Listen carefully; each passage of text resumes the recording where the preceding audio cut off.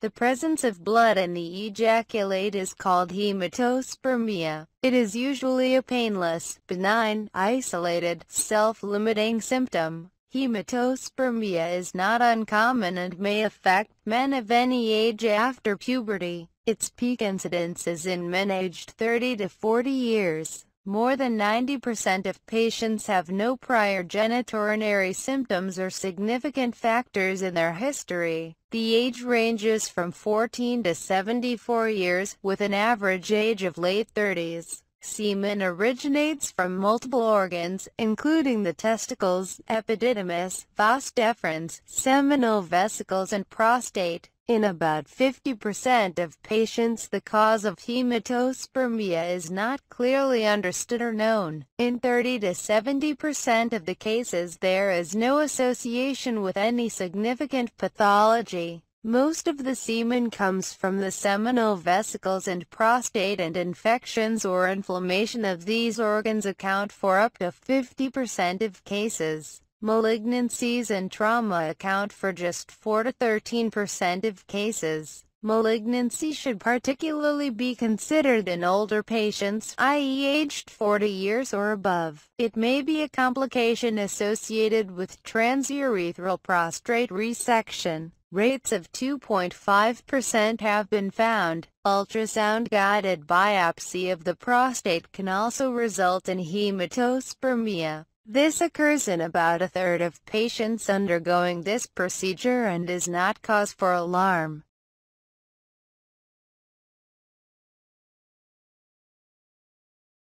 Primary hematospermia, blood in the ejaculate is the only symptom. There is no blood in the urine, macroscopically or microscopically. The patient has no evidence of any urinary irritation or infection and physical examination is completely unremarkable. The condition is self-limiting. About 15% of patients will have one episode and never have another. Primary hematospermia patients have been studied extensively in the past and most studies show no other associated problems. Secondary hematospermia, the cause of bleeding is known or suspected, e.g., immediately after a prostate biopsy, or in the presence of a urinary or prostate infection or cancer. Unusual causes or predisposing factors prostatitis, epididymitis, urinary calculi, tuberculosis, cirrhosis of the liver, arterial hypertension, hematological disorders affecting clotting e.g., hemophilia, parasitic infections,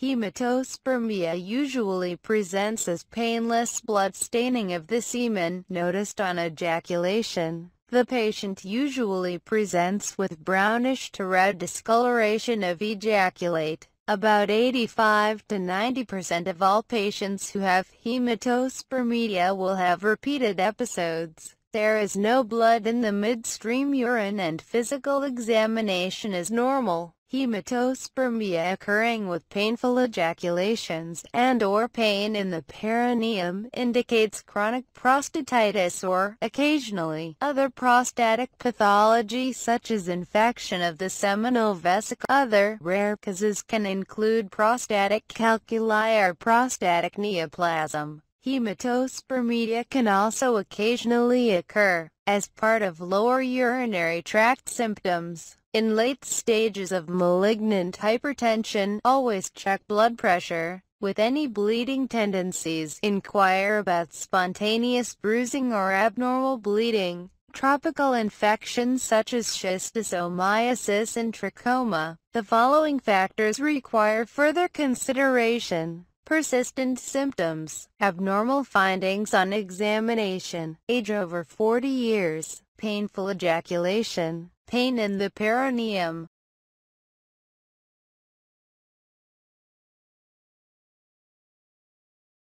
Diagnosis, investigations, history. Discuss the following with a patient. When, how often, associated symptoms, any precipitating factors, any discharge or history of sexually transmitted infections, pain on ejaculation, perineal pain, testicular pain, bruising or bleeding tendencies, problems urinating, hypertension, travel history, especially Africa, patients who have hematospermia associated with symptoms of urinary infection or visual or microscopic blood in the urine require a complete urological evaluation. Examination A full physical examination is mandatory including blood pressure, abdominal palpation for hepatosplenomegaly or renal enlargement, examination of genitals, including the testicles for any lumps, urethral discharge, PR prostatic check for cragginess, enlargement or lumps, loss of median sulcus.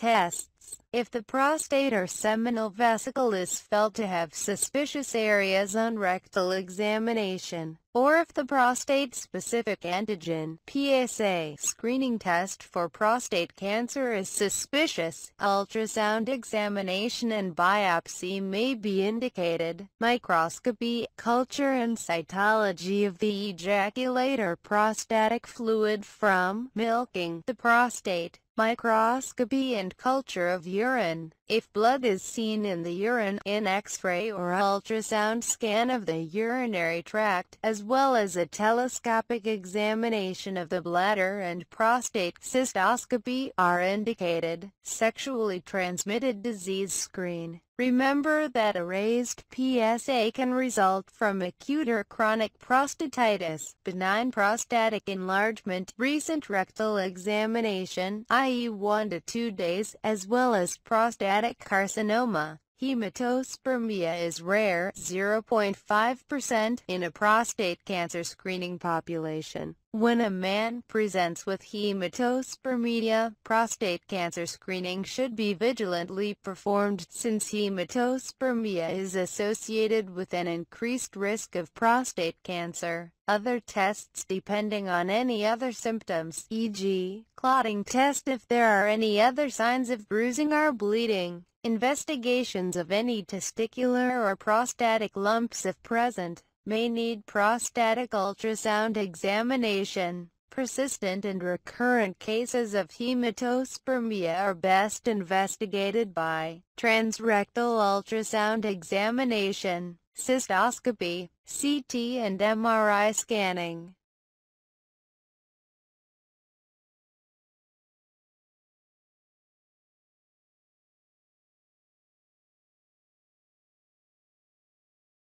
Treatment management, it is generally recommended that no therapy be given for primary hematospermia as it usually resolves spontaneously. Usually reassurance is all that is required after full physical examination and investigations of any ancillary symptom or signs. In patients aged over 40 years with persistent hematospermia, especially with other symptoms, a urological opinion may be necessary. Treatment of any associated or underlying pathology usually is sufficient. Patients should be given a full explanation of their condition and told of symptoms to report. Persistent hematospermia may benefit from a novel treatment with massage by transrectal heat rotating magnetic field. In a recently reported series of 64 cases, which were caused by prostatitis and spermatocystitis, after 1 to 4 treatment sequences the cure rate was 81.25%.